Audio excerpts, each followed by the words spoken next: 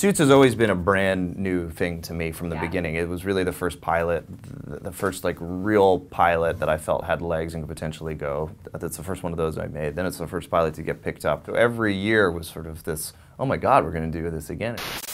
The following program Modern style.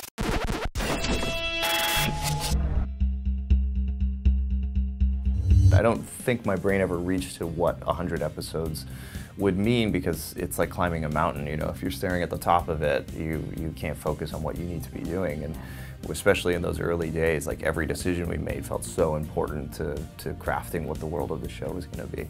Um, so it's a huge deal. It, it's one of those moments where you get to look back and look over everything that you've done and go, you know, we have put in so much time and so much work. Like things have totally changed uh, since we started, and it's really gratifying to say that you've worked with so many people and created something that that's, that's that long lasting. So I went in uh, not knowing that I was asking for the 100th episode. The, uh, the time slot was just like really perfect. We have this DP who I really wanted to work with that was going to be there for that time. So there were all these reasons that I said I'd like to direct uh, the eighth episode of the season. And then a phone call came in and go, just so you know, this is the 100th episode. And I figured, oh, that probably means you know, I probably won't get it, but then I thought, well, you should fight for this. You know, this would be cool. You could go out and you could promote it and talk about it, and you've done three episodes already. So I, I fought hard for it, and they, they let me do it. So I was really clear that I would take it, the responsibility really seriously, and, and that, you know, I, I, wouldn't, I would be honored to, to be able to do it, and they gave it to me.